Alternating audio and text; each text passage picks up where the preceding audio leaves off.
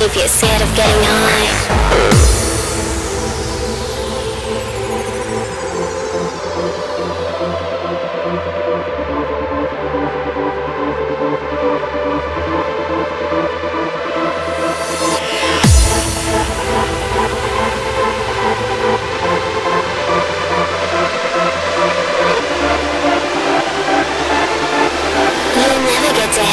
If you're scared of getting high.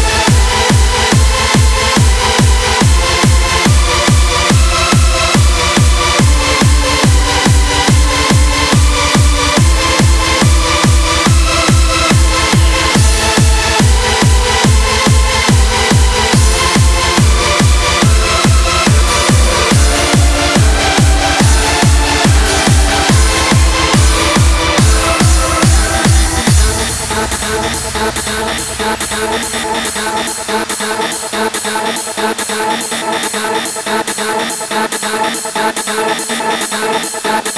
you.